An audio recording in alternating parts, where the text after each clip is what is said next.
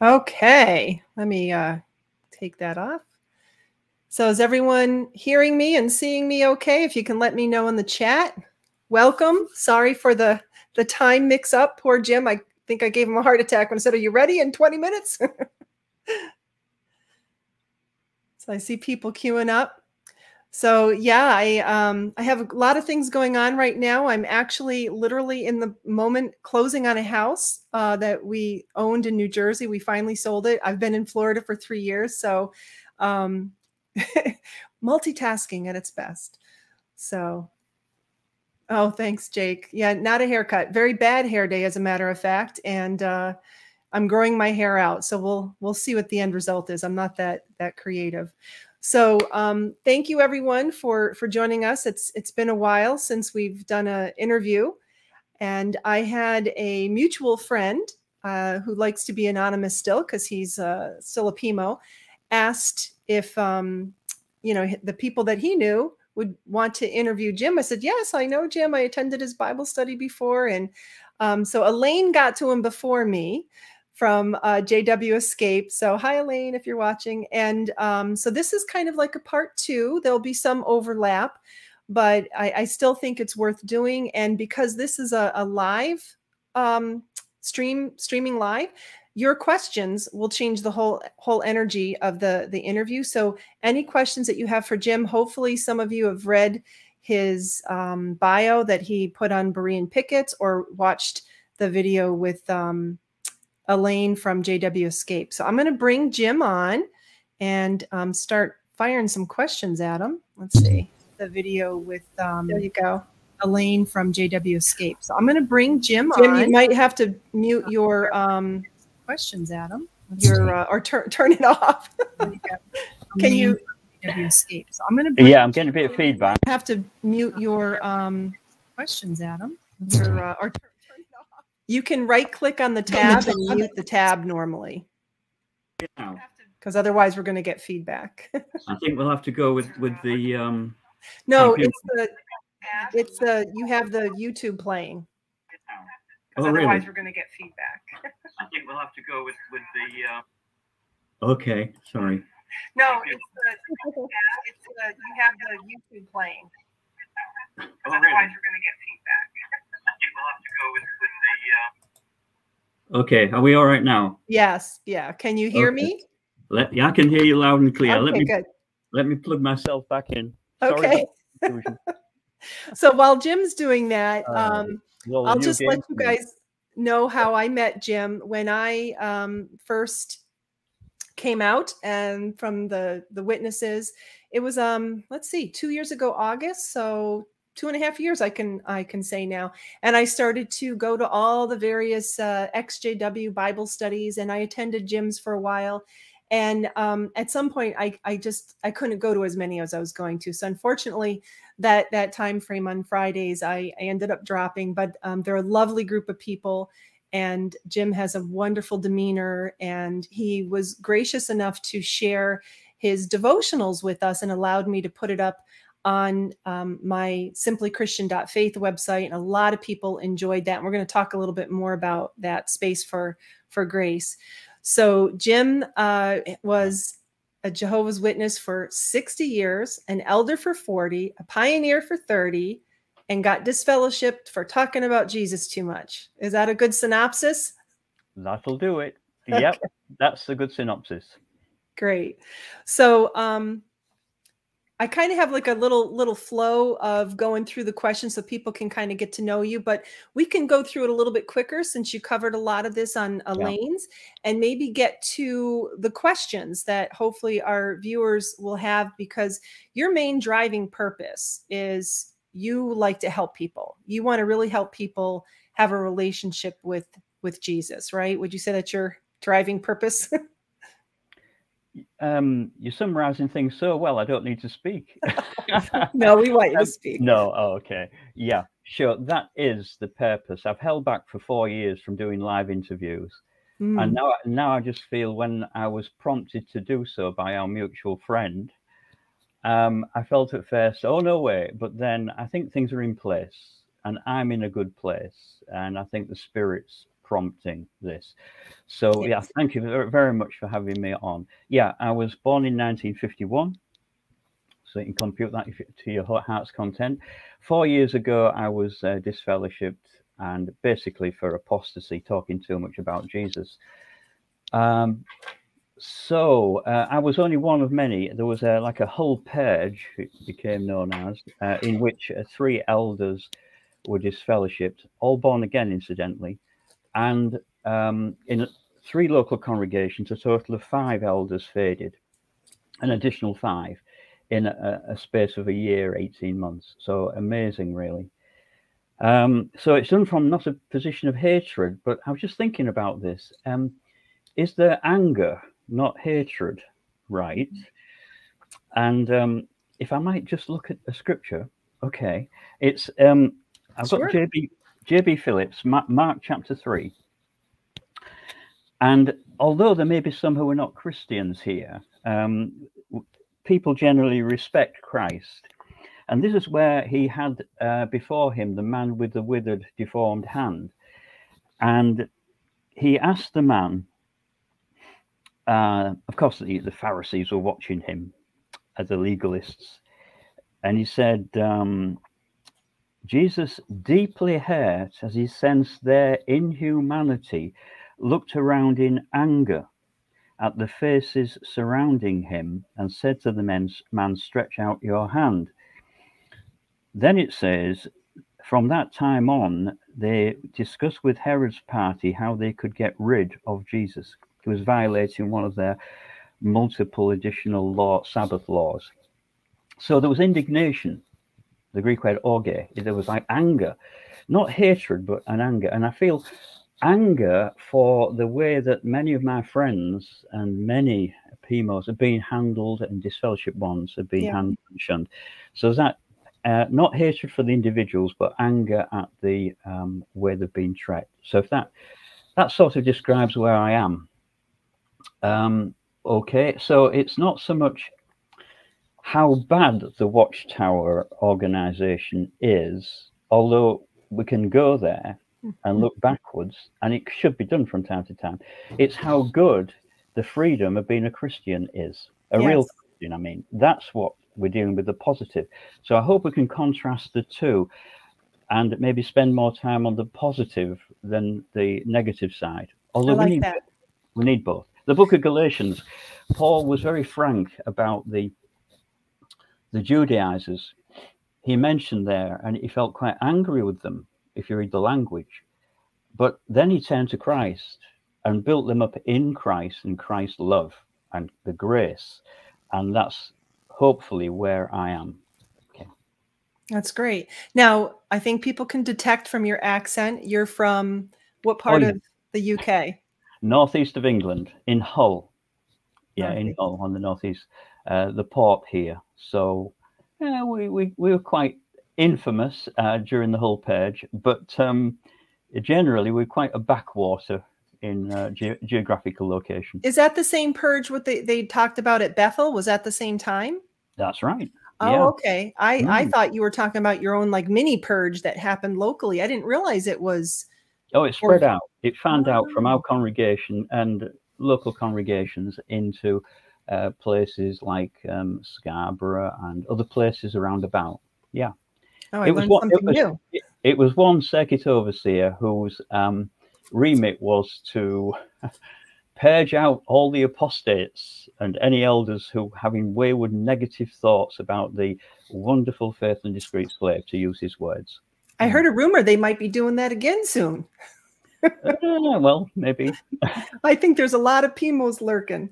Um, so normally I ask what your current JW status is, but you said you were disfellowshipped four mm. years ago. So yeah. um, how long were you you were you were in you said 60 years so were you born in um my parents were five when i became a witness so i was actually your parents a, were five or you were five I, was five oh, okay um, yeah strange parents no um they uh, I was five years of age, and they were Anglican Church of England, and became witnesses.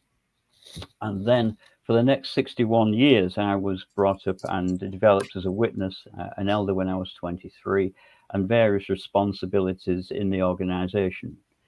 I, I'm, I'm, all, I'm only an ordinary Joe elder, as was, you know. Uh, I had certain responsibilities which connected with me with Bethel, port witnessing the Chinese ministry.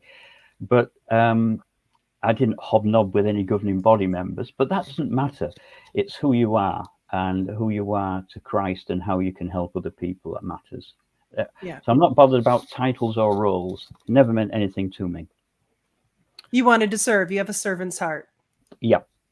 Yeah. That's the now, bottom bit. What was like when do you think you were starting to kind of wake up? What were the the things that you know before I, it's it's like a process i think with everybody. It's yeah. not just one thing. So what was it for you? All right. Well let's deal with the organizational bits first. Um, i suppose that's what people are more interested in.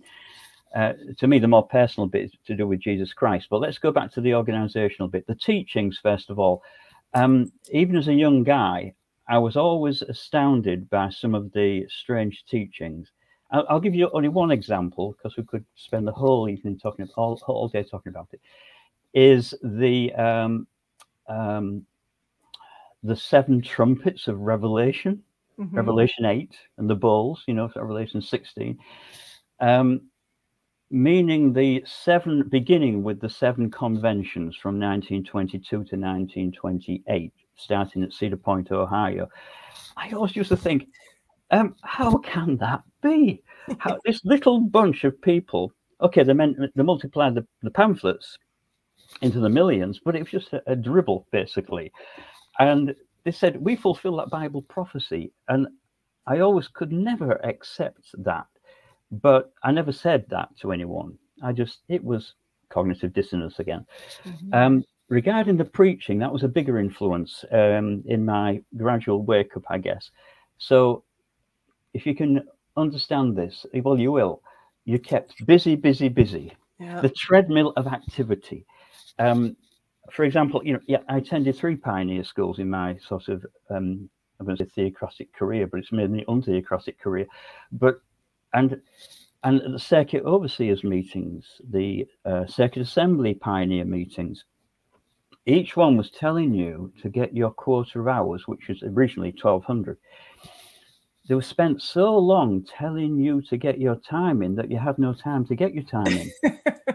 um, it, it's true. You know, when the circuit overseer's visit came, you were struggling to cap- make your time count. You know, it was just uh, gobbled away.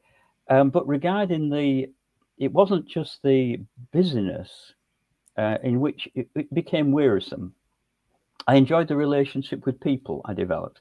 But the actual grind of time and clock watching was wearisome. It creates a, an ongoing tension. You wake up in the morning, how can I start my time? Last mm-hmm. thing at, at, night, can I, I, sneak in another return visit? You know, it was all of that. Um, yeah. It's a terrible way to conduct one's life, particularly as I did that for 40 years uh, in the pioneer ministry. Um, uh, sorry, 30 years in the pioneer ministry. So, um, but what used to get to me as well is what about the message? And I used to read, okay, got New World Translation here. I read this scripture to um, the body of elders on one occasion. I had three meetings with a body of elders in the year before I was disfellowshipped. And um, I, I, opened the New World Translation and, and read Colossians 1, verse 27 to them. God has been pleased to make known among the nations the glorious riches of this sacred secret, which is Christ. In, in union with you, or in you, the hope of glory. He is the one we are proclaiming, admonishing every everyone and teaching everyone in all wisdom that they may, may be complete in union with Christ. And you know, there's so many verses. Um, I'm just flipping over to Second Timothy, uh, First Timothy two, which we all know. Um, for there is one God and one mediator between God and uh, man, a man, Christ Jesus, who gave himself a corresponding ransom for all. This is what is to be witnessed to at its own due time. Well, I could never make sense of that. A, the mediator was only for about 1% of JWs. And secondly, it's mm. a hmm. corresponding ransom for all. It's the ransom that should be the message is his death, the burial, resurrection, his ascension, and the grace he pours out by Holy Spirit. That's the message. So when I was working by myself over the years, I used to more focus on Jesus Christ. When I was working with a witness, I've, I've toned it down somewhat. um, but so the, the also the other thing about the preaching work, um, if I'm rambling on, just stop me. No, no, you're good. okay, um, was how Matthew 24 14 um, preach the good news, all the nations. And they used to pride themselves that we're reaching all the nations. Yet, the real fact is that between two and three billion people of Earth's population never heard the good news, never heard of Jehovah's Witnesses. And what's more, uh, over 300,000 are born every day due to die at Armageddon. So mm-hmm. they boast of 300,000 perhaps in a year that they baptize in the peak years. It doesn't happen now, it's dropped right down. But they, that figure is born every day. And so the, by the time Armageddon comes, more and more are being born to be destroyed from their viewpoint. And then, of course, you've got the idea of reporting, uh, which never made sense to me. A reporting field service activity. I'm trying to imagine the Apostle Paul looking for the box to put his reporting in Antioch or somewhere. Ridiculous.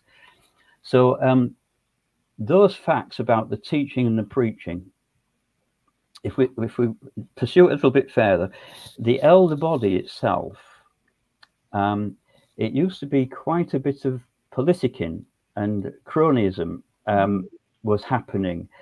And sometimes you're in the middle of a body of elders meeting, almost standing between elders, keeping them verbally apart, trying mm. to tone things down a bit.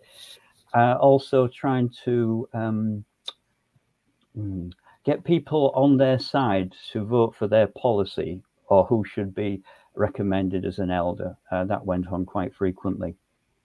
Then the circuit overseer came. I'm just rattling these one after one after the other. They were all cognitive dissonance, but they were all making an impact. Um, circuit overseer's visit.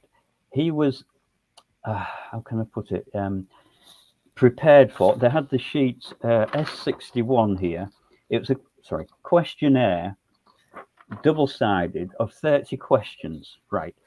The poor old secretary, I was service overseer for most of my career list of list of those scheduled to receive a shepherding visit, um, all the congregation accounts of today, contact inf information of all publishers, movements of all literature, um, notification of all disfellowshipping, disaster preparedness, uh, skills uh, sheets up to date. So it was endless, and yet the the circuit overseer, as we know, uh, is sort of um, adulation and adoration, the buzz, and yet um, he was just an ordinary guy, just a policy man, uh, which, is very sad.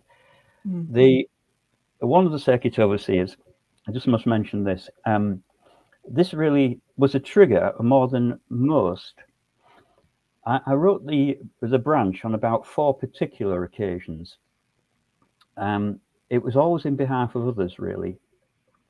But one of the occasions was um, this particular circuit overseer. He was known locally as a sergeant major, and um, I don't know whether it reached his ears, but nevertheless, he um, he'd just come back from a uh, circuit overseers training school, a seminar, and I believe it was about 2005. Um, what does the Bible teach book course had come out, and he was all um, fired up on the correct way to conduct Bible studies. Now, I'd been to the Pioneer meeting recently, a few months prior, and it said, when conducting Bible studies, tailor them according to the congregation, the, the household's need. Um, not necessary to read every paragraph, every scripture. He comes along and he is assigned to work with a few sisters, as his wife is. So I had four sisters separately, unbeknownst to each other, as far as I know, come up to me at service overseer. I said, I don't want to work with him again. And they were in tears. Three of them were in tears. I said, What's gone wrong? He said, you were conducting a, the Bible study incorrectly, sister. You should be reading every paragraph and every scripture. So I confronted him on behalf of these sisters and said, Well, hold on, brother. Um, do you think at the Pioneer School it said the opposite? Well, I've just been to this course, this seminar. Okay, I left it and I wrote to the branch saying, I'm confused. And the pioneers would be confused in the UK that attended that pioneer school.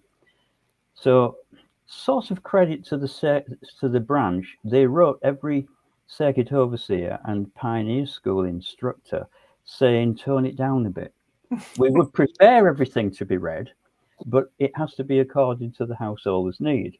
It was a compromise they made. Mm-hmm. But he wouldn't have it. And I was never used on circuit assemblies again until he left. Um, another, case, another thing that triggered me was disfellowshipping. Now, I'm talking about the bad stuff, not the good stuff yet. But um, there was a, another anecdote I can just relate a couple that I was in a judicial committee, and it was going back to the 90, uh, mid 70s, 73, 71, 72, 73, that era, uh, when smoking was made first made a disfellowship mm-hmm. offence. They were given six months to mend the ways, repent, and stop. This um, young lady, um, married with um, two children at the time, young children, she was under a lot of stress from work, etc., various health issues as well. And she confessed smoking. She was seen, and she, you know, it was reported to the elders as good witnesses report every misdemeanor. So she, um, we confronted her, and um, they wanted to disfellowship her. And I said, well, look, please give her longer. Um, oh, we'll give her a concession of an extra two weeks. okay, okay, we'll go with that. So we relayed that back to the sister. Two weeks she had. Reconvened. Have you smoked once in those two weeks? I caved in two days ago, I believe it was once, disfellowshipper.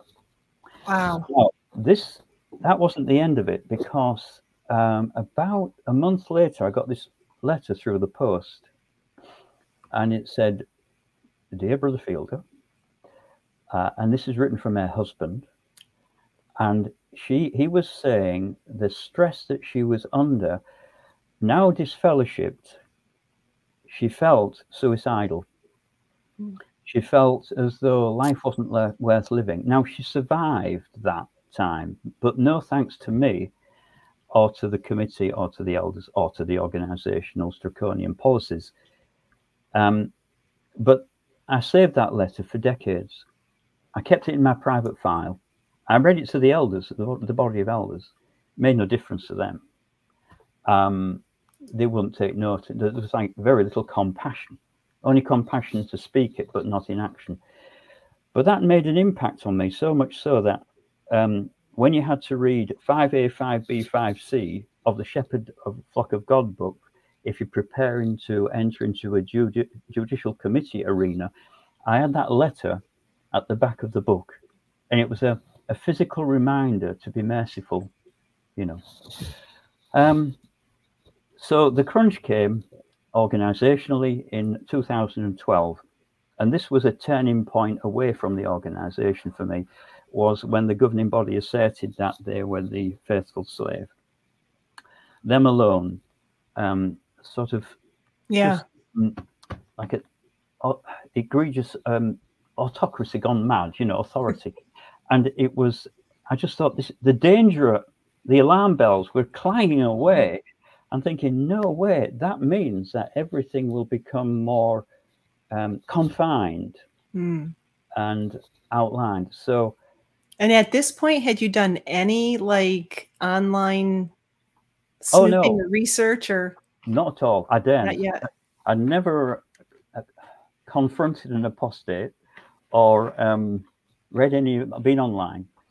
So let me just give a quick story. Um, I'm full of stories, so you try and stop me. Um, so I wrote this port, port witnessing guidelines for the branch, and uh, in 2005. But what they had was a policy that when you went up the gangway and signed in, you could not write that you were a JW. You could not write that you represented the local congregation. You had to just write your own name in your own right. And there was no identification. You would not put JW, I am a J. You would not, you would say, oh, we're doing a Christian missionary work. When you got into the mess room, perhaps you could loosen up and say you were a Jehovah's Witness, but you could certainly not. And I thought, what's going on here? And it was basically the fact that they didn't want any indemnity in case you had an accident on board. Oh, so, wow. And so I got a complaint from the local uh, apost- uh, apostleship of the sea and mission to seafarers uh, and the local associated British ports saying um, when you go in on a gang, up a gangway onto the deck, they assume that you are either customs or represent a mission. Can you please identify yourself? So I wrote to the branch, and I've got I, I saved the letter on the back here.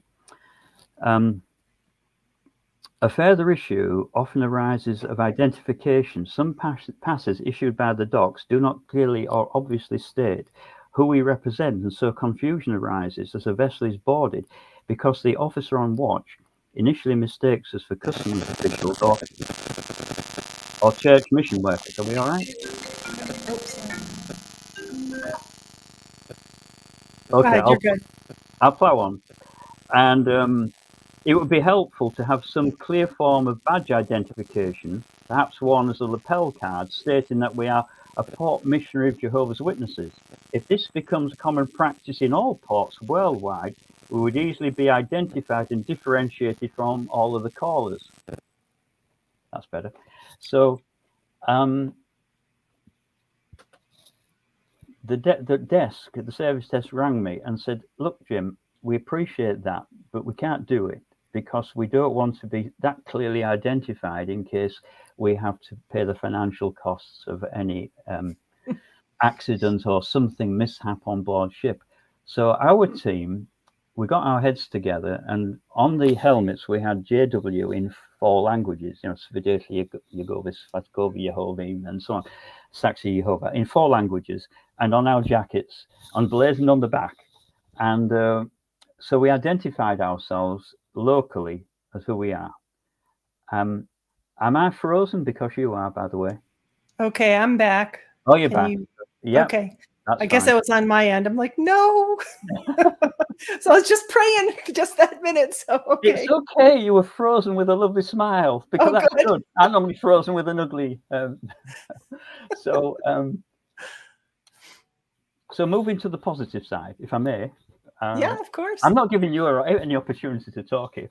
So, no, this is for you to talk. I'm oh, just okay. here to, to to guide and you know pull things out. We do have some questions from the audience when you want to take a little pause. Okay. Um, if you give me five minutes on this at least, sure, and then that yeah. will probably prompt other questions. Um, 2000 and I, I, mentioned this in Elaine's uh, interview uh, to a degree. Uh, the 2011 to 12 were the crucial years for me spiritually. All that I've described in the past 15 minutes or so was background interference, uh, cognitive dissonance going mad, and particularly in 2012 when the governing body proclaimed. But coincidental with that was I was awakened by Christ. Now, I'm not saying visions, I'm not saying such as that, but I was aware on more than one occasion of his presence in a real way. Um, yeah, okay. I better not talk too much about that because personally, it's private. I get a bit emotional about it, to be honest. It's okay. Uh, I, I, visualize everything that happened, and it becomes very much very moving for me. Um, but from that moment on, I knew that I was not just a friend of God, but a son of God. Mm-hmm and it affected prayers, it affected my whole thinking, it affected the joy that I felt. feel. Um, what did it? The catalyst um, was reading. Sorry. I'm so happy it's you and not me. Uh, um, the catalyst was reading the book of Romans from the Message Bible from chapter one to eight. Just reading it through. It, if you speed read, it can take 20 minutes. I think it took me an hour, and it's a couple of hours, but uh, that really got me. But and the Romans Road, check that out on Google, the Romans Road. But I am so sorry. That is my son who is 14 and he's doesn't remember that I'm mommy's doing a live stream. Okay, keep going, Jim. it's all right. Well, if he listens in, that'd be great. But um, what particularly helped was one scripture, and this was the, the the whole pivotal point. So if if I just read it, and it may it may not help anyone else, I don't know, but it's First John chapter four, verse sixteen. And on number of fronts, I was just reading through First John after reading that those Romans chapters, and um, I'm reading from the NASB. Um, we have come to know and have believed the love which God has for us. Okay, point one. Um, I knew about God's love, but did I believe it for me? Ah, that was different. And this verse sort of started waking me up. But I read on God is love, and the one who abides in love abides in God, and God abides in him. That was the second. Whoa, same verse. God abides in me. Grace isn't just unmerited, undeserved, um, unpaid for from our part uh, love and favor. It's God depositing himself in you by the Holy Spirit. Oh, well, well that's another subject. Okay, so I'll move on. By this, love is perfected with us so that we may have confidence in the day of ju judgment. And it struck me as a JW that I was never confident in the day of judgment. You feared Armageddon and the great tribulation. You feared that God might judge you. If you died now, you would be mm, a goner. Um, well, that tied in with Romans 8 1 that uh, those in union with in Christ, so to say, those now in Christ have no condemnation. Um, you want to read that in the interlinear, it's a lot better. So, but this this fourth point now, sort of First John 4 17b, is the point that woke me up completely. It simply says, Because as he is, so also are we in this world. And I looked at that verse. I said, I get that, you know. I, I, was starting to read the Bible and pray at the same time. So I, I argued with him. I get that, Lord. I kept reading it again because I'd read it through Watchtower eyes, just as Jesus was, so we should be in this world. And I thought, you know, it doesn't say that. It doesn't say that just as Jesus was as our exemplar, we should walk in his footsteps. Yes, we should, but it didn't say that. That's other verses in Peter.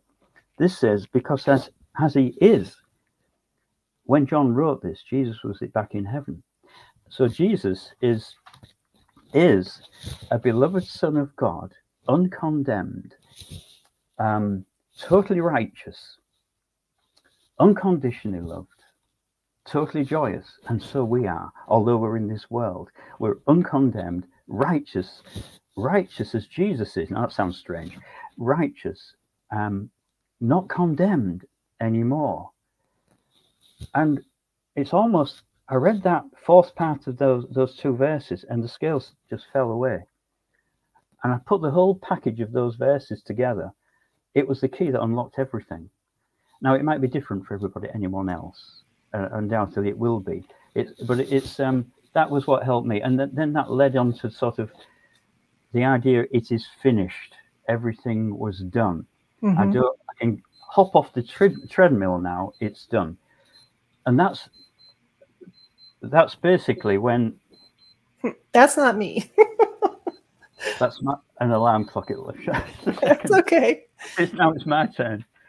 Um so well, it's interesting. We're having fun. We're not trying to do some sort of professional. oh no, no, it's all the more fun. Um, so that was a. I, I, I couldn't stop talking about Jesus then do I blame the elders for saying I'm talking too much about Jesus? Not really, because that's the reality. I was. I couldn't mm. stop it. Uh, so I went around visiting about 100 different households in in Hull and area, um, not not complaining against the governing body, and not talking about 1914 child sexual abuse, higher education, and the whole catalogue, uh, but rather um, John 5:24 that um, we have passed over from death to life and we're not under judgment anymore. That's and First John 4, of course. So that, that's like anti JW teaching. Oh yeah, yeah, it really is. It's the other way. So um, that's after that. Uh, I was completely monitored. Um, so mm. when I mm. talked to a JW or I made a shepherding call, they would contact the person I talked to and say, What was Jim saying to you on the phone or mm. visiting or in the Kingdom Hall? Um, that became stressful. Yeah. And Did honestly, you feel limited when you had to give talks by the outlines? Oh, yeah. Yeah, because you probably you're a good teacher, and I can tell you just want to, you know, mm. and I, I bet you felt very hamstrung by that. Yes, um, the public talks, as you know, there's a selection of them. I, uh, I tended to choose the ones um, on prayer, meditations, uh, Bible and Jesus, and, and, Jesus, of course. There's not, there's not many outlines on Jesus, I tell you. Um, but wow, that's telling right there. Yeah, yeah, and um, there's a couple of outlines. One goes through uh, Hebrews three and four, and the other one through Proverbs three. So I chose those. Um, uh, so that that was good, but the other parts, because you were service overseer, you had to give talks on pioneering. You give talks about the ministry all the time. So you were looking for parts of the talk, uh, sorry, the outline, which geared up the brothers to do more. And I didn't really want to do that. It's mm-hmm. a, as you say, it created stress, and I don't deny that. It was a, a psychological stress for those two and a half years, three years, and I felt for my wife, who was also going through that related stress. She knew what was happening as well. So bless her, she was very supportive at that time. So then um, I remember meeting with the elders. I feel like a in a court of law bringing evidence. Um, so I think you're doing better than Geoffrey Jackson, though. oh yeah, okay.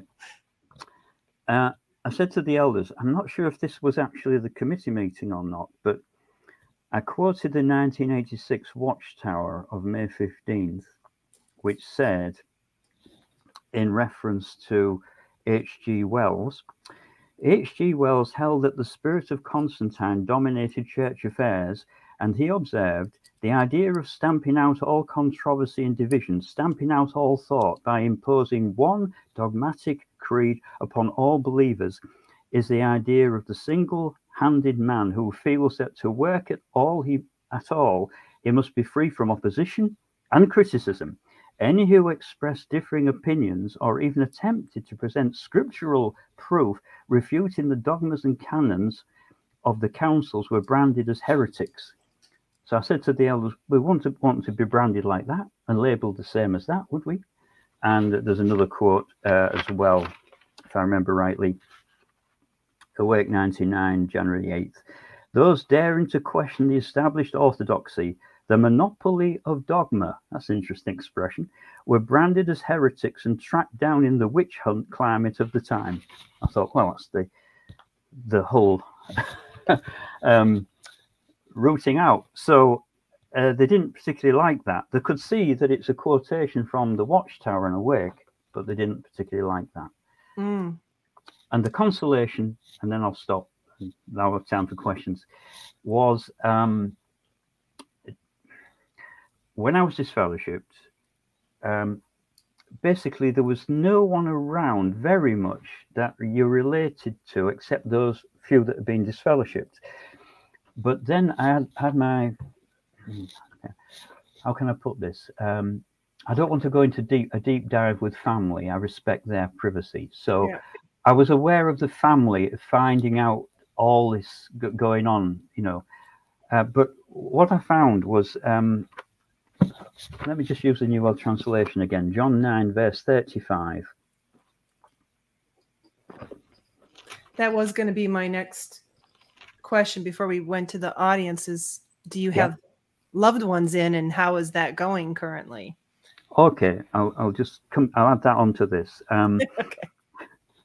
So John 9 is the man who was uh, thrown out of the synagogue, and that meant um, ostracization. He was uh, um, shunned, basically.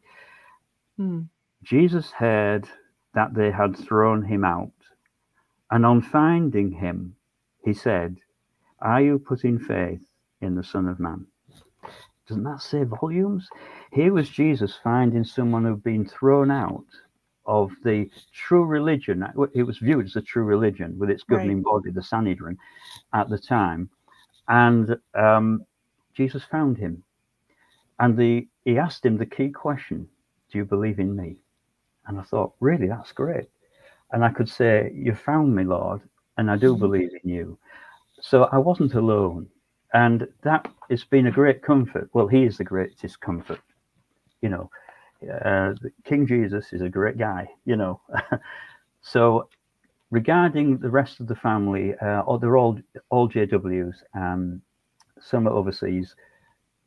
Um, circuit overseers, wife, regular pioneers, elders. Um, so yeah, they're all um, JWs, and my wife too. She's an ardent JW.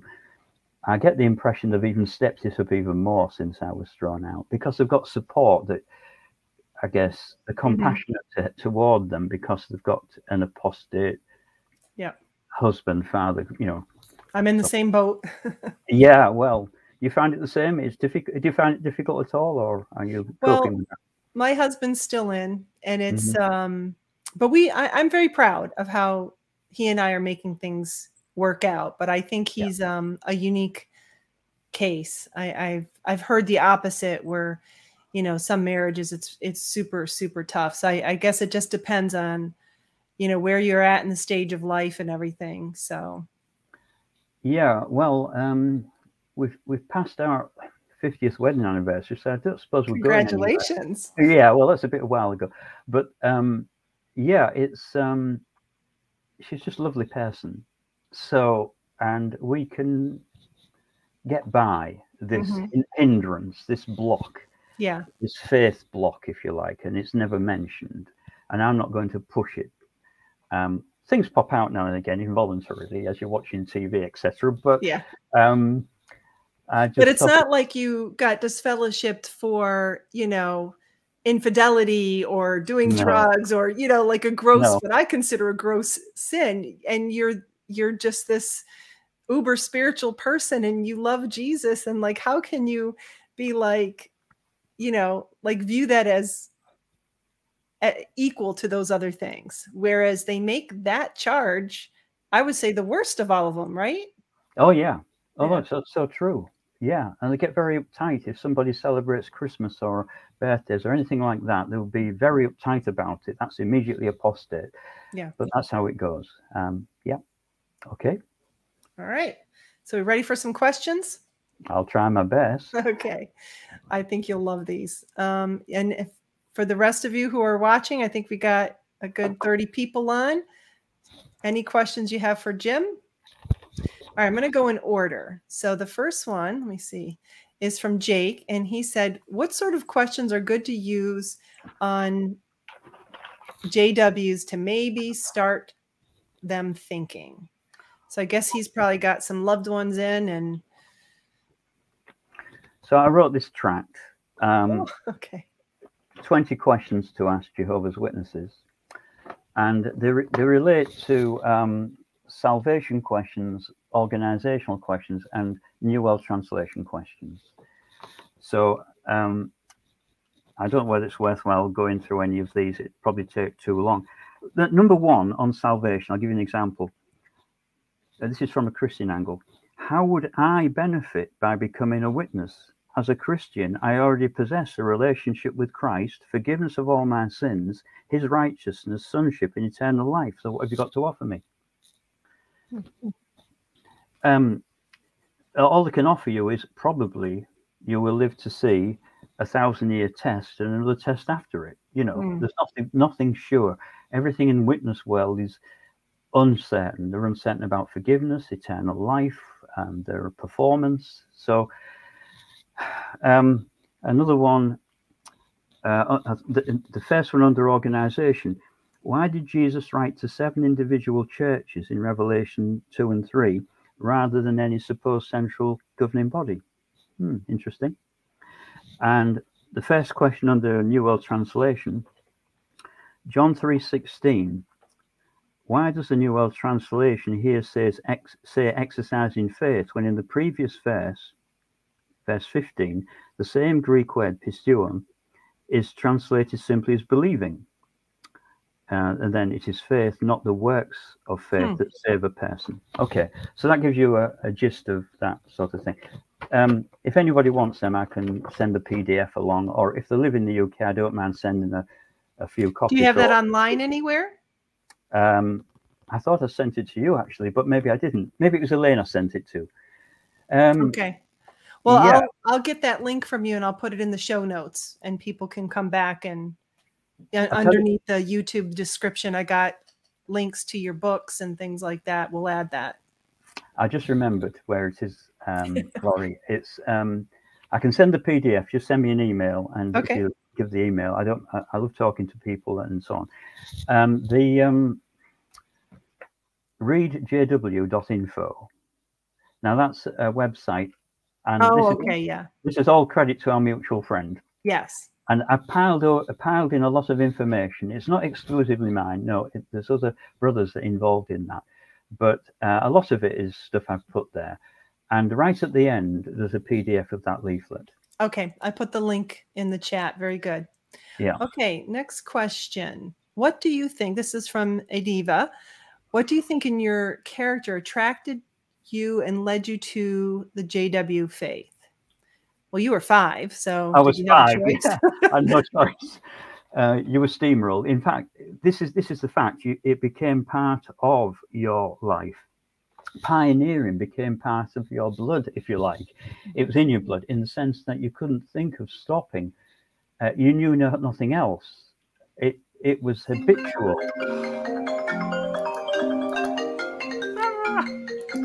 I'm so sorry. Go ahead just as well you don't have six 14 year olds, isn't it? Um, so, um, yeah, I think it, yeah, the answer to that is just uh, as you implied that I, I was no, no, choice. You were dragged to meetings, and I, you know, I remember just um, one winter's morning, a Saturday morning, working with my mother. I was six years of age, and we she was talking to this lady. I was frozen, disinterested for about an hour and a half, and the wind was blowing, and I thought, what's she talking about?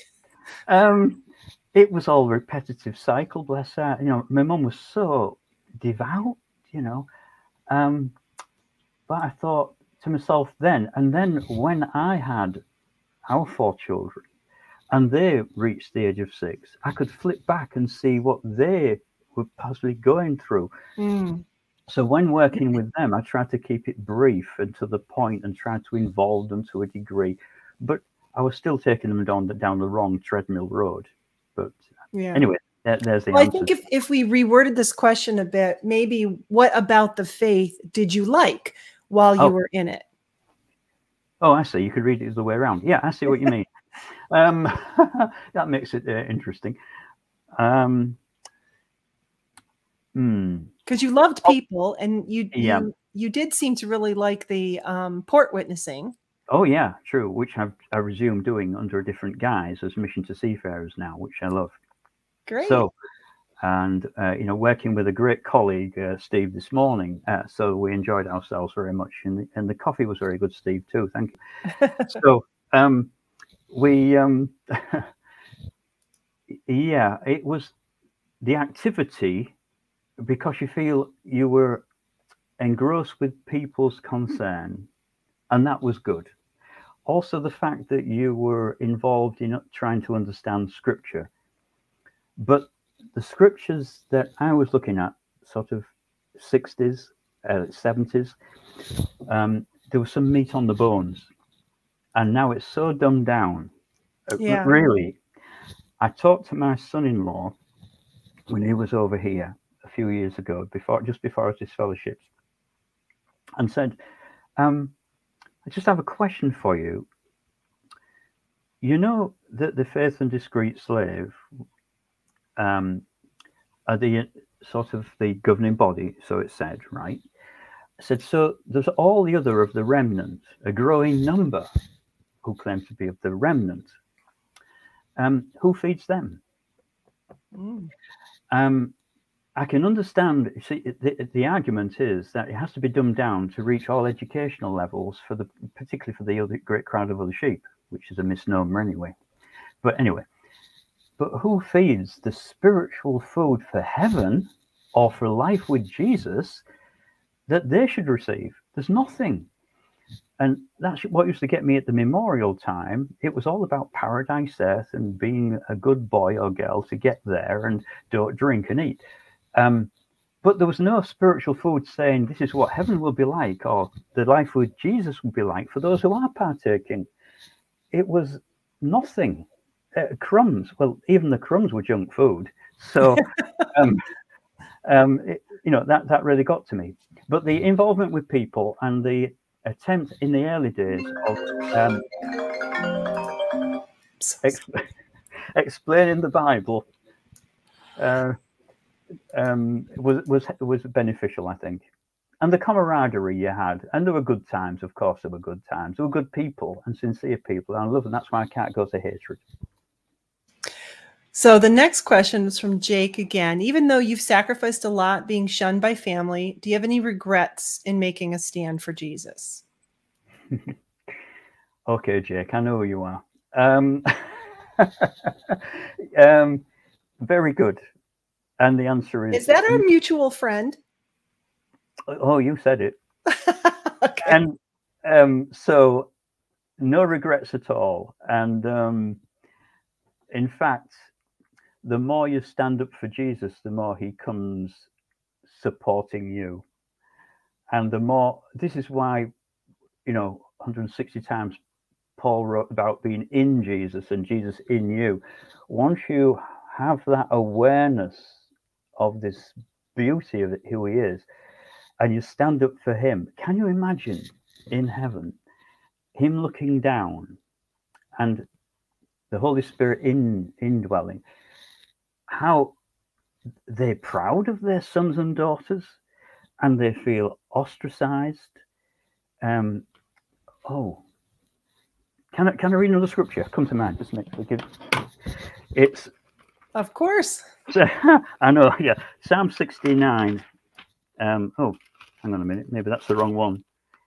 Oh, okay. I'll, I'll just, it, it, this is a shorter one. It's Psalm 41 I was going to. But Psalm 69, Message Bible uh, verse 8 and 9.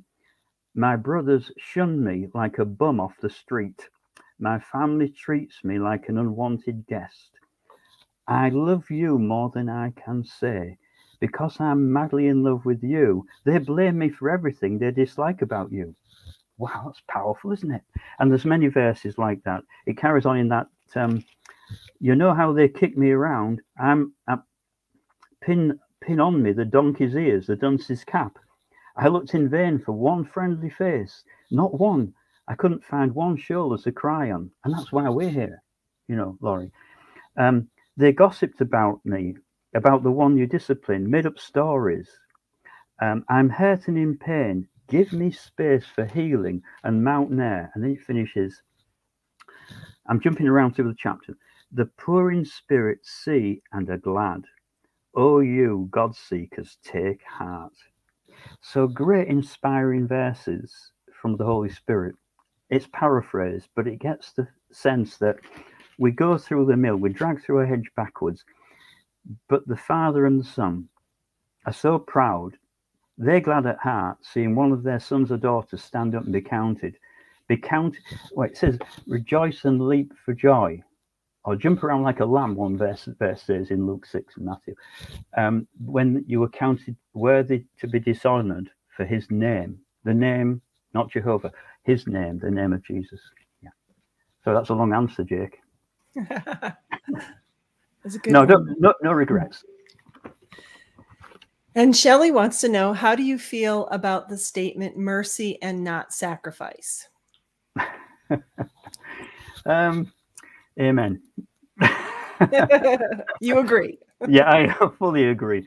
Um, yeah, it's um, the the even the, the law system uh, of the Mosaic law was a temporary arrangement to point to Christ. The sacrifices, God didn't really want them. Not really. Everything operational about God is love and grace. So the Abrahamic covenant was love and grace. That was, I mean, bless him, Abraham fell asleep in the middle of that covenant, right? Mm-hmm. He didn't he didn't lift a finger to say, I'm involved in this covenant. God God put him to a deep sleep, so he couldn't do anything. He couldn't he couldn't waft off the birds and the ravens anymore. Um, so likewise, grace is am I hmm, it's not what I do, it's what Jesus did. It's not am I achieving, it's am I receiving his grace, his love. Am I receiving his mercy? So when the law went, the sacrifices, which are basically in place just until Messiah came, and now we're back under grace. Well, not back under. Grace is reinforced or more evident. We're always under grace, but it became more evident. Uh, John 1 14, etc. So, uh, wave upon wave of grace, it says uh, in one Bible. So, it's, um, yeah, God wants mercy and sacrifice. Any anything when once we've received that grace and we stand up for Christ, anything that we do is Him operating through us. Mm-hmm. Uh, in Isaiah, it says, "All our works are performed by Him." Um, so the works come after. We don't yeah. work to to get the no. love, to get the forgiveness. That comes because we're so grateful for it. Yeah, um, grace empowers. So mm-hmm. um, we, Ephesians 2 8 to 10 say that we're not saved by works, but we're saved to or for work. Right. So one is the root, and the other is the fruit of the root. And we're just in the middle. It's the vine, isn't it? So the vine is Jesus. Uh, the Holy Spirit flows through like the sap, and all we do is hang there as fruit mm-hmm. bearers. It, it doesn't say that you produce fruit, it just says that you may bear fruit. We're fruit hangers, basically. So all we do is what He is doing. We're transmitting Christ. We, we, we, we're grace transmitters or Christ transmitters, really. Um, okay. That reminds me of when I was reading your story again on Beroean Pickets, how you were saying the one brother was like, if you keep teaching them about grace, they're going to not want to go out and service as, as much or something to that effect, right? So they're they're so works based and they're kind of going back to the old arrangement when we're supposed to be free of that, right? Yeah. Oh, yeah. Oh, it's very pharisaical. Like I can't believe they can't see that about themselves when they have rules like women have to wear skirts, men can't have beards. Like they're adding to, yeah. you know, um, scripture when they're not supposed to. that argument, Lori, was raised uh, in the year before, the couple of years before this fellowship, and during the judicial. It's the same repeated argument, just what you said. If you live by the way you were saying, undeserved kindness, because I wouldn't call it grace, um, then people will, will have no control. Exactly. So quoted Romans 6 1 and Romans 6 verse 15, I think it is, to that to that ilk, you know, that that's the very argument that was raised against Paul. In fact, how do you know that you're preaching the gospel right? It's when people say, you well, then you're free to do as you like. If people mm-hmm. say that to you, you've got the message right. Because and yet here you were pioneering an elder, and you yep. believed that, so you weren't slowing down in what you were doing. So it no. didn't really hold any water. Correct. Yeah. Mm. All right, here's another good one, one of my favorite topics. Did you start partaking? I know the answer, but. okay, uh, yes, 2015. Oh, that was quite an episode. Uh, it's got a, a, funny side as well, but I'll pull back a bit because we'll be talking endlessly. Um, is there a time limit on this, Lori? I, I had us going to 3.30, so. Okay, you know. right. Um, Right. Do you mean which is another 30 minutes? I forgot oh, you're five hours ahead of me. I thought you meant another 12 hours time. Anyway, um, so 2015. So in um, 2014, I guess I was sort of one with the Lord. 2015, I came to the came to memorial. The I was in the Chinese congregation, so um, it was my privilege to conduct it in a local hotel. We had about 38, 40 there, half Chinese, half were English learners who were the witnesses. And I had to give this talk in Chinese, right? So um, I did that, but I, I was emphasizing more about the heavenly hope and the, the being with Jesus rather than the paradise earth. I skated over that, to be honest. But when it came to the partaking, I partook of the bread, and the sister. The funny bit was the sister who had made the bread, knowing that no one ever partook, had made it like a rock. and my wife said, "You're not going to get your teeth through that." You know, she she only knew a few hours beforehand that I was going to partake, so she broke a bit off but I didn't realize I was so near the microphone. I crunched down it, and the, the crunch reverberated through the whole hall. There was no hiding the identity. Oh, that's fantastic. But um, it, it, that's the funny side of it. And then the, the, the, wine. There's more to that involved, but I won't go down there. It's very personal. Um, there's only one or two people know what happened at that time. So, um, yeah. So after partaking, it was. I tell you what it was like the Chinese group there, the brothers and sisters, were related. When I got to back to the General Kingdom Hall with the mixing with the English on the Sunday, there was like almost a, mm-hmm. hushed reverence because there was no other party. There was one elderly brother in the circuit, a lovely brother. Um, I admired him so much, and he he he left about that time to go elsewhere. So I was the only one in the circuit who actually partook publicly. Um, maybe others partook privately. But you know, when Jesus rode into Jerusalem, it was, Hail, you know, the king. And then perhaps it wasn't the same group, but a few days later, a crowd wanted to kill him. Yeah. And, and that's what happened, basically. 2015, they were all, Hail, this future king. I didn't want the acclaim. I'd rather be out the limelight, as you probably register. I, would rather be out of the way but you were sort of elevated and and then 2017 they threw you out on your ear so that's how it goes. I've forgotten the question now. Oh you did i partake I, hmm. I always wonder like with you know what was their reason for making us pass it? I mean i know they felt the covenant was just between the anointed and jesus but even if you went to a wedding celebration it's not just the wedding party that would partake. Everybody would partake in the celebration. So even they could have still allowed that to happen. It's just weird. Like I I said in one of my last videos I did that I felt like it was um a mass rejection of Christ mm-hmm. and one of the commenters thought that was a little harsh. So I don't know, but I felt that way when I finally learned that you know this was between me and Jesus that I was supposed to be following him and he said do this in remembrance of me not pass it you know not be a passive observer so um, i felt horrible when i first realized it i mean i know he he forgives me but um, yeah i enjoy partaking now and and hmm. feel mm. um, you know happy to do that it's a really good point i mean the witnesses um, just taking that point a step further in Matthew 28, say, Go therefore and teach them all the things I've commanded you, mm-hmm. except partake. You know, why make an exception to tell them all all the commands? And that's a command. Mm-hmm. Um, yeah, that's sad. And it is it, it uh, the maybe you were you were the same then reading between the lines that the memorial was the strangest meeting of the year Mm-hmm. You invited more people than you ever would to any other meeting, and when you came, you sat there thinking they'll think this is weird. Yeah. You know? Yeah.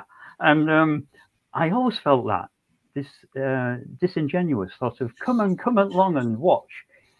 Um, my my first meeting was a memorial meeting, and oh. I ate I ate the bread. So they teased me afterwards and said I was half anointed.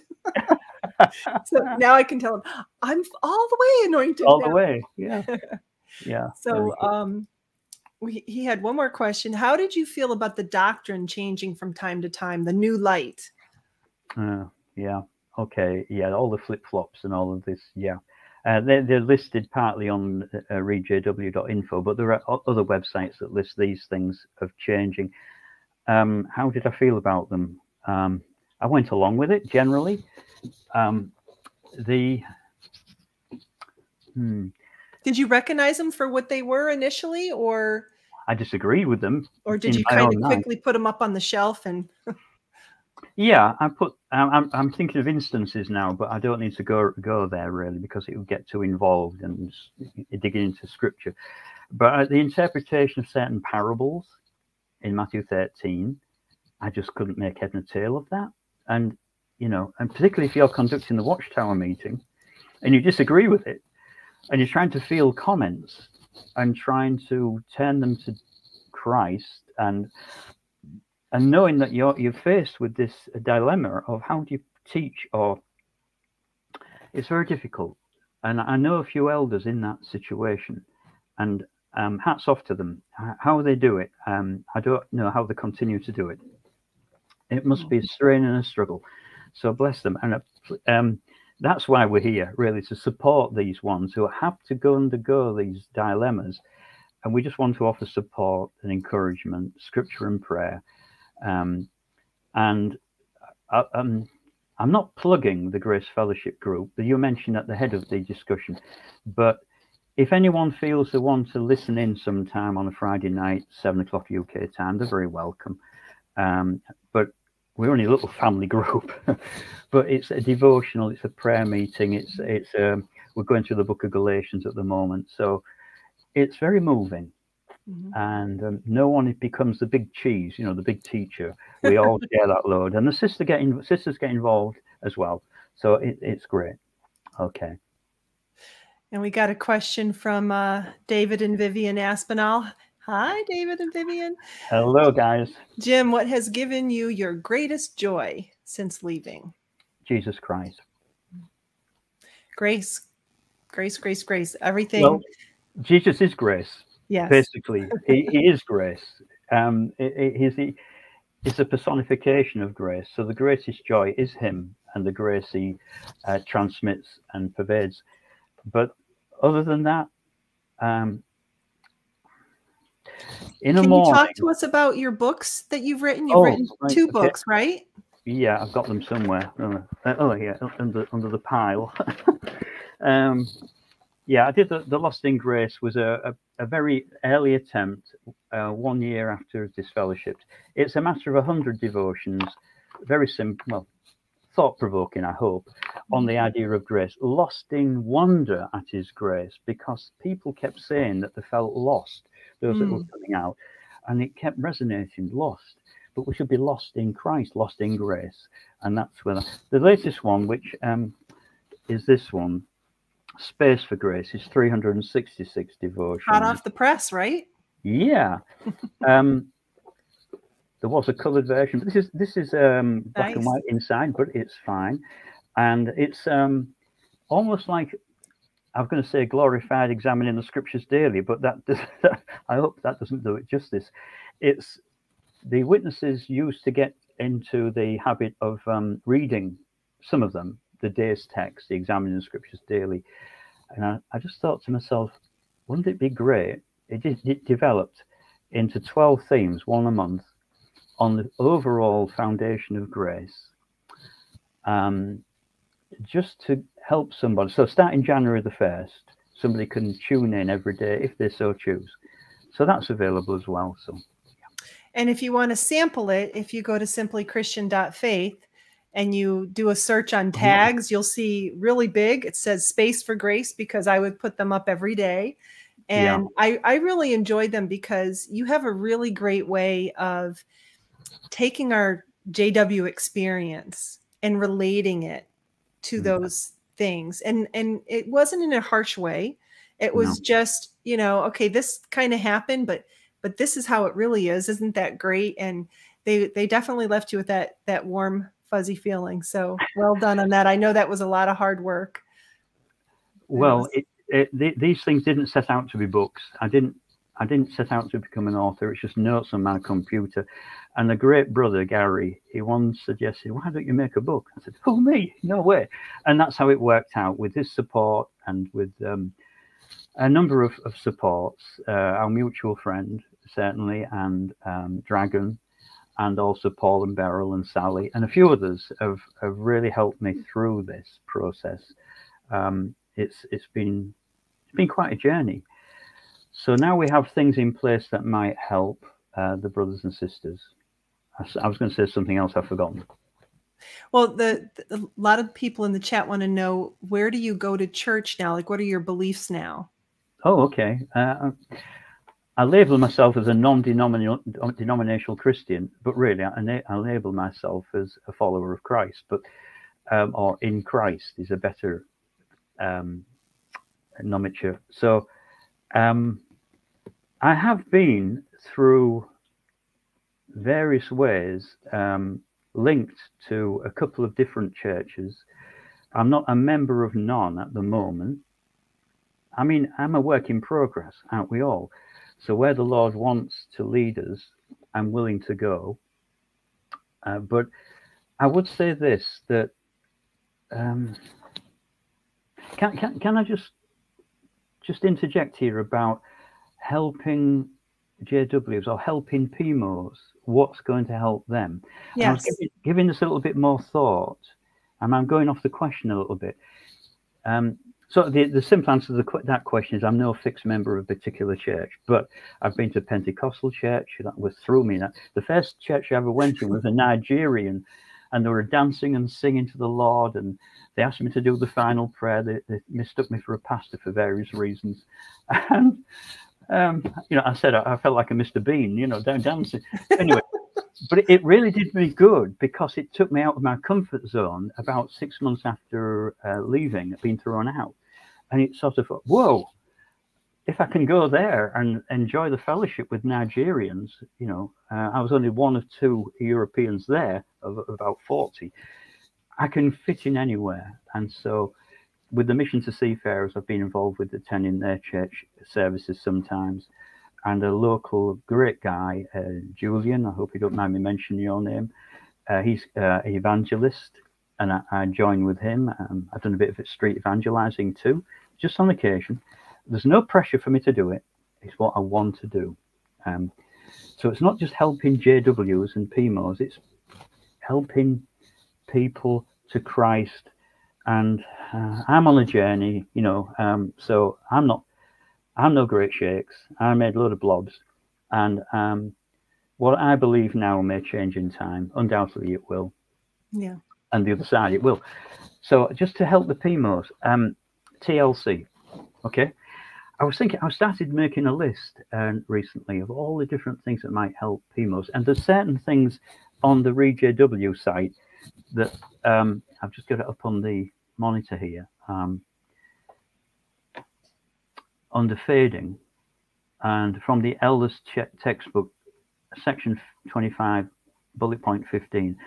If an inactive one has made it clear that he does not want to be contacted by the congregation, his wishes should be respected. And that's in print. So that should be respected. I know it isn't, but they've got hmm. that. I quoted that to one brother. He he said, bless him, to the elders who were on his back, he quoted this. And they said, Where did you get that from? From your elders' textbook. I know, but who told you that? And he said, A circuit overseer called Brother Fielder told me. wow. Yeah, anyway, that's a, this is the humor of it all. But what really would help the, the TLC is um, to talk. Number one, to talk. Talk in prayer to the Father and to the Son, if you wish. Mm-hmm. Um, talk to friends who understand, even it might be one or two. Just you only need one or two close friends to pour out how you really feel because you've been hemmed in for so long and bottled it up.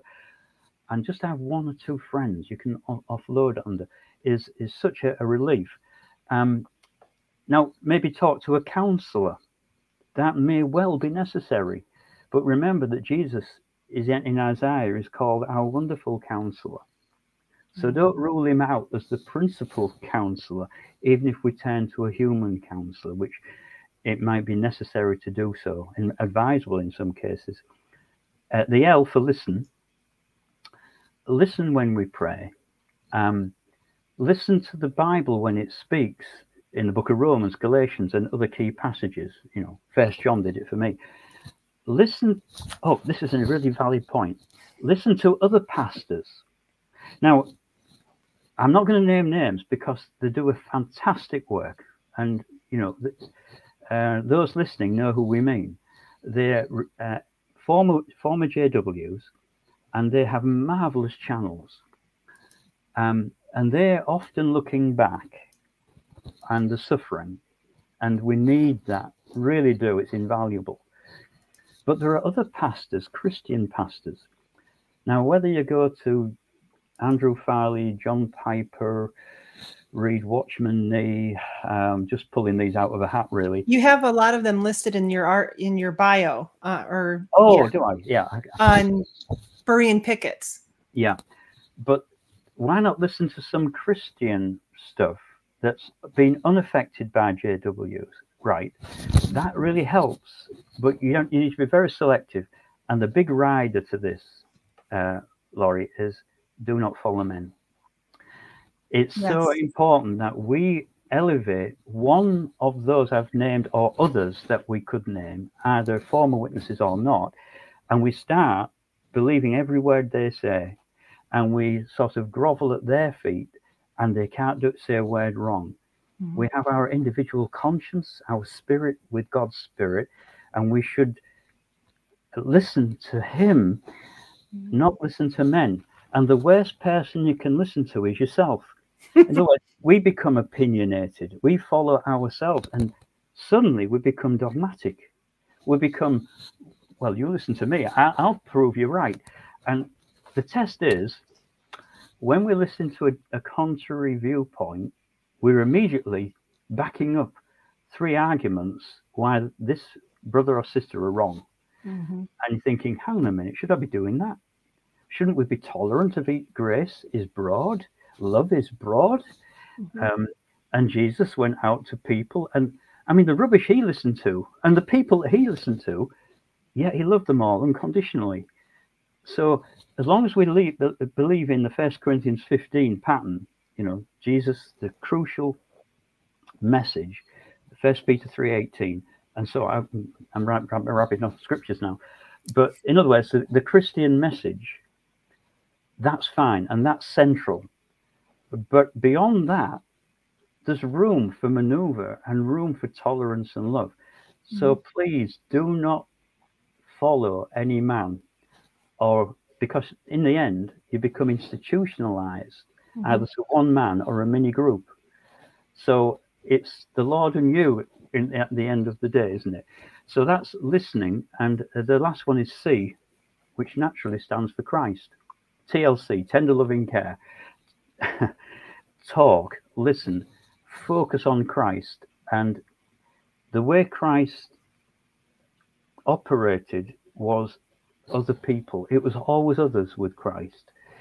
So as we focus on Christ and absorb his spirit, inevitably we'll reach out to love people. You you've got you should have a, a they can't help it. You can't help loving people, whoever they are. Mm-hmm whatever gender, nationality, sex, whatever they are, uh, you would reach out to them. So that's for PMOs. Um, I did have, I'm looking at the time, a final text. Okay. I'd love to read. And it's well known, but I'll read it from the Message Bible, and it's Matthew 11. Um, hmm. Okay. So from verse 27 or thereabouts. Um, no one knows the Son the way the Father does, nor the Father the way the Son does. But I'm not keeping it to myself, said Jesus. I'm ready to go over it line by line with anyone willing to listen.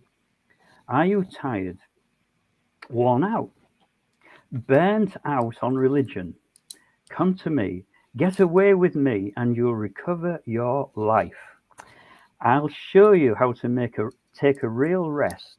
Walk with me and work with me. Watch how I do it. let this is a great phrase. Learn the unforced rhythms of grace. Let me read that again. Learn the unforced rhythms of grace. I won't lay anything heavy or ill-fitting on you. Keep company with me and you'll learn to live freely and lightly. Isn't that wonderful? Wonderful. Yeah. Yeah. And i just thought it summarizes where we are really uh, walking in the unforced we're so used to the the forced rhythm of legalism. And to mm-hmm. make that transition, we need to give ourselves time, don't we? Yes. And be patient with ourselves and each other. Mm-hmm. Uh, we're going to blunder along, falling flat on our face, but Jesus is there to pick us up. Um, and we get disillusioned and frustrated with ourselves. And we compare ourselves with another brother or sister. How come they they can quote scripture? Okay, or some other skill, or speak so well they've got a problem. The brother who can pluck scriptures out of the air and can speak well has a problem because that might make him look to himself and his skill set rather than Christ. Mm. You do. I think there's a, a scripture, Second Corinthians mm, eleven, is that that people may see evidence of Christ speaking through me. One translation says that's mm-hmm. it. It's not you. It's what He has done and is doing. Um, I'll, I'll stop giving a sermon. We now. want to be that reflection. That's it. Yeah. Yeah. It, in fact, it, it, goes deeper. Yeah. Reflection is one word. You know, we, we're so used to saying we should imitate Christ, and that is a good word to use. A better word would be reproduce. He reproduces himself in us. After all, we're born again. So mm. he reproduces himself. It's not just that we copy him, he makes a copy of himself active through us. It's a bit deeper than walking in his footsteps, although we should. The only way we can walk in his footsteps is if he carries us, really, and if he lives in us. Yeah. Very good. Now, there were um, some questions we didn't get to, more on a deeper doctrinal kind of nature. Is yeah. there a good way for people to reach you to um, ask you more questions? Yeah, you can come to Hull if you like. Um, oh, I see. um, yeah, my email, um, fielderhull at gmail.com. So Fielder is my surname. Fielder Hull, all one word. H U L L? That's where I live. So fielderhull at gmail.com. All right, I'm going to put that in the chat. So mm-hmm. for um, anyone who didn't get their questions answered, you can reach out to uh, Jim there. Also, if you go to simplychristian.faith and click on calendar, You'll see his Bible study listed there with instructions on um, mm. how to maybe participate in that. Mm-hmm. And um, so I think on that note, I'm going to end it here. Thank you so much, Jim. I really enjoy um, listening to you. I I'm confident that when you were an elder in the halls, you were probably one of the favorite ones. Maybe uh, not among the other elders, but among not the among the other elders. No, no. well, no. thank you very much, and um, well, I, I pray for your continued work and blessings helping our new ones coming out. Okay, thank you. And um, um, Romans 9, 1 to 5, it, it, it's brilliant. I see I'm falling into that trap again. It's it, it's where Paul gave his testimony and then he he said love and then finally he listed the reasons why the Jews were a proud people and he said yes but you're missing Christ and that's how we deal with Jehovah's Witnesses. We give our own testimony. Yeah. And that stumps them because you're speaking from the heart. Secondly, you talk about the atmosphere of love for them. And thirdly, you say, well, look, you preach. Don't you do well in preaching? But are you preaching Christ? Look, you study the Bible. That's brilliant. But what's the Bible all about? It's about Christ. Yes, you have a worldwide fellowship, but have you got fellowship with Christ? The missing element is always Christ. And so Romans 9, 1 to 5 just encapsulates how to help Jehovah's Witnesses, uh, really. From That's how I see it anyway. Yeah. Okay, enough said. Very good. Thank you so much. We'll have to maybe do a part two. I have a feeling we could probably get a, a lot more out of you to, to help us. So, but thank you, Jim, and have a good evening. And we'll be seeing you around. Okay, thank you. All right. Bye bye. Bye bye. Bye bye.